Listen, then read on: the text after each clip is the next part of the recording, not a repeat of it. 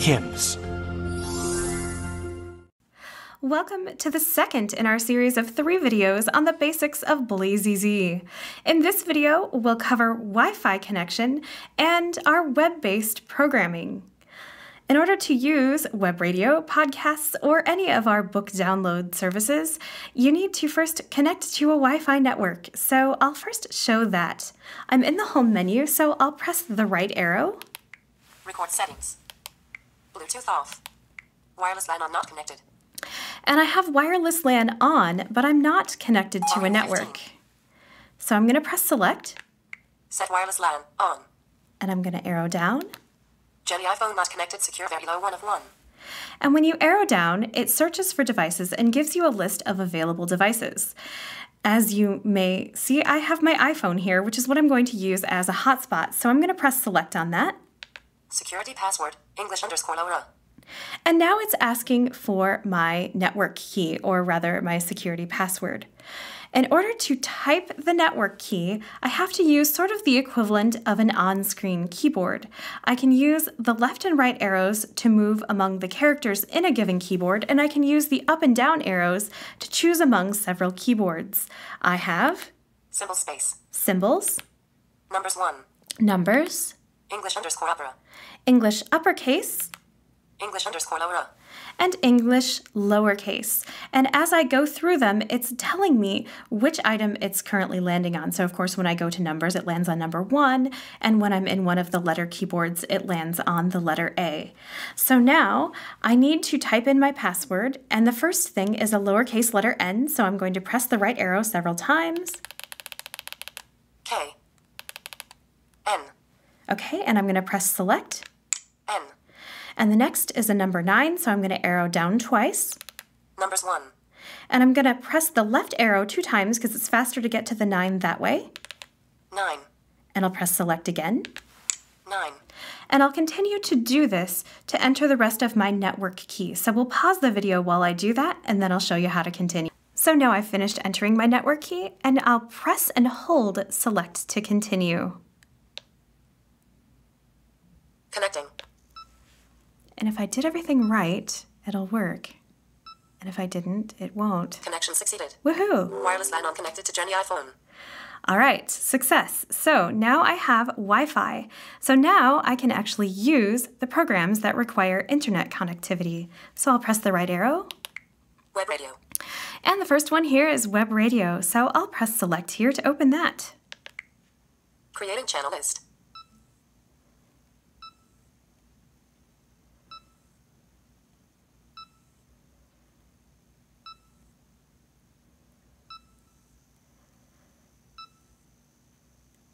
Channel list creation complete.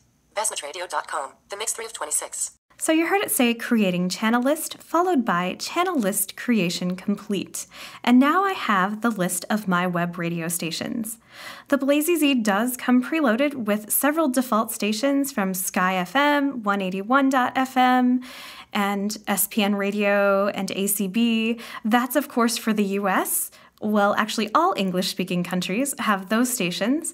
Um, you also have a database from which you can search, and other countries will have stations that are local to that country or region.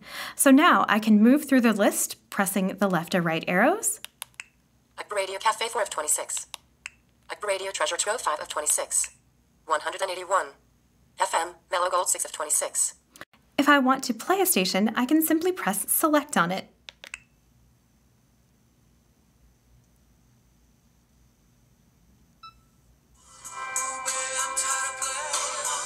And now it's playing. Now if I press the right arrow,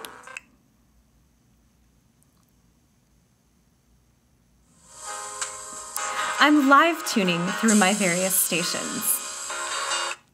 And I just pressed select to pause playback of the web radio. So you can either navigate from the channel list itself or during playback of the web radio. So you can either live tune or you can quickly move through your list and then press select on the station that you want to listen to. If I press the Explorer button, Start search mode, category mode.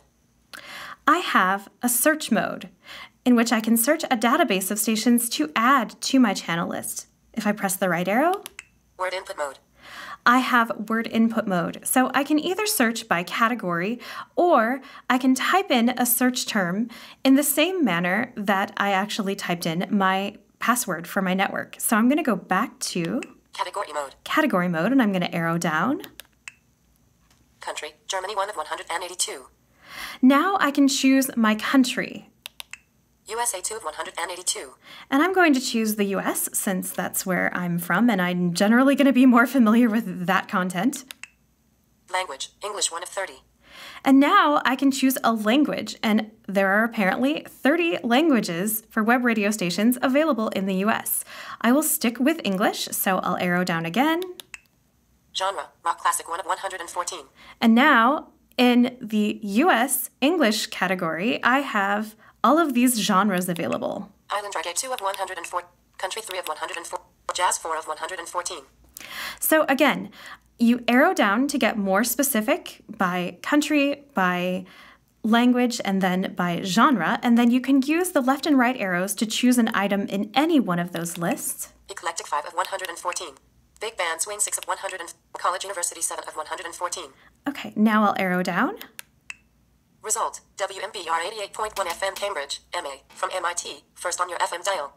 College station URL http colon slash slash headphones.mit.edu 8000 slash 1 of 160. So now I have the list of the stations available in my country, language, and genre. And again, I can press the left or right arrows to move among them, and I can press select on something if I want to add it to my channel list. Once I have selected all the stations I want to add, I simply press and hold select to add everything to my channel list. Right now, I'm just going to press cancel. Cancel. And now I'm back to the web radio playback, and I'll press cancel again. 181. FM, Super 77 of 26. And now I'm back to my channel list, and I'll press cancel one more time. Web radio. And I'm back to the home menu on the web radio item. And now I'll press the right arrow again. Podcasts. And I'm here at podcasts, so I'll press select to open the podcasts application. Creating feed list. Feed list creation complete. AC 360 audio 1 of 24. And similar to when you opened the web radio, this time it said creating feed list and then feed list creation complete. So you have several podcasts again loaded by default. You can also add your own by importing an OPML. You can copy it to the podcasts folder using your computer, or you can copy direct XML feeds in the same way. So if you put things in your podcasts folder, it will import on open. Now I have my list of podcasts, so again, I'm going to press the left and right arrows to move among them. America's Test Kitchen Radio 2 of 24. CNN, end of line 5 of 20. ESPN Sports. The Cats song, The New Yorker. NPR All Songs Considered Pop. New Yorker Movie of the Week 11 of 24. New Yorker Fiction 10 of 24. And that's what I was looking for. So now I have two options. I'm on New Yorker Fiction, which is one of the default podcasts that's included in the US version. And I can either press select to update the feed, or I can press the down arrow just to see what's here. I'm just going to press the down arrow. Georgia Saunders reads and quote Love and quote Reserpalliant and quote Jet 70s and quote Barry Hannah partially played 1 of 90. Now I have the list of podcasts available. And as it goes through and reads the podcast, it also lets you know if it's downloaded or not downloaded, or played or partially played. And it says this one is partially played. If the podcast is not downloaded and I press select on it, it will download. If the podcast is already downloaded and I press select on it, it will play. Play. What happens when iconic filmmaker David Cronenberg writes a novel? It leaves readers riveted and consumed. Consume the eye opening thriller not for the faint hearted, as troubling. Georgia Saunders reads and quote Love and quote Reserpalliant and quote Thea Jet 70s and quote Barry Hannah partially played 1 of 90. So I pressed cancel to return back to the podcast list. But I was simply playing the podcast in the media player, and I have all of the navigation available to me that I would normally have in a media file. I'll press cancel again. Podcasts. And now I'm going to press the right arrow one more time. Library services. And I have library services. Now, what is available in library services is going to depend on where you are, and in fact, if the menu exists at all, will depend on what country you're in.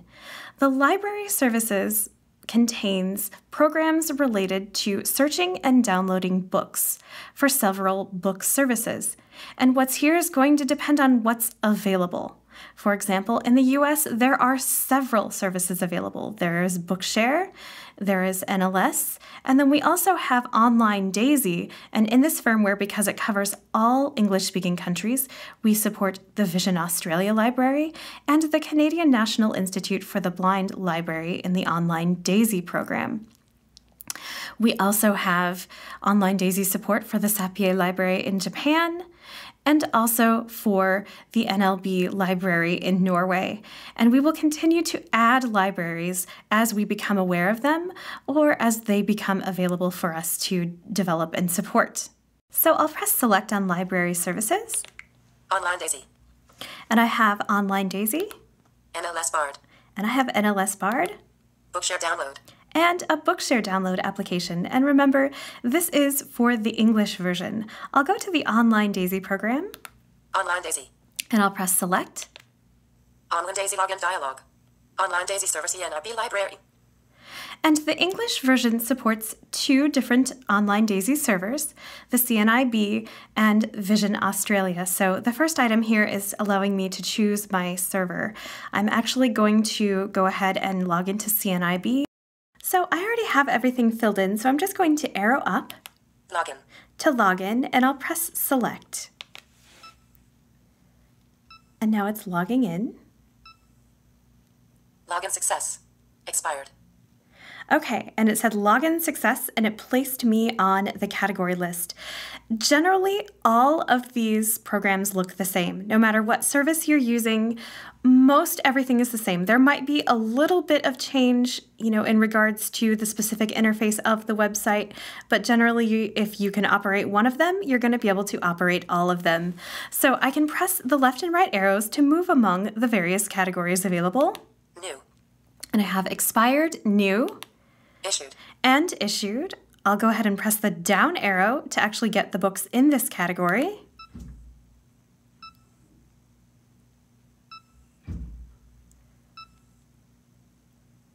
King's Captain and Alan Lewrie Naval Adventure Slash by Dewey Lambdin. 1 of 10. And now I have 10 books that have been issued to me, and once again I can press the left and right arrows to move among them. Golden Soak by Hammond Innes. 2. The Baltic Gambit and Alan Lewrie Naval Adventure Slash by Dewey Lambdin. 3 of 10. And if I want to get more information or download the book, I can press select on it. Download file. Now I have two options. I have download file File information. or file information. File information is going to give me the synopsis, the title, the author, all of that kind of information. And obviously, download is going to do just what its name implies. It's going to download the book. So if I press select on either one of these options, I can do either one of those things. I will press cancel The Baltic Gambit and Alan Lewrie Naval Adventure Slash by Dewey Lambdin. and I'll press 10. cancel again. Online Daisy. And I'm returned to the online DAISY program. And if I press cancel one more time, Library services. I'm returned to the home menu and placed on the library services menu. So, that in a nutshell is how the book search and download programs work. Some of them, like NLS and Bookshare, actually do allow you to search the collections. And again, they appear in a similar fashion, except that the categories are, for example, in Bookshare, we'll have the categories that are available, like animals and art, etc. And it will actually search the collection and give you the lists based on those things. You can also enter search terms the same way that you can in the web radio database search. And again, you'll enter them in the same way that we entered the Wi Fi password. So, there are our web based services. You now know how to connect to a Wi Fi network and use our web radio, our book download programs, and the podcast application. In our final video in the series, we will focus on OCR.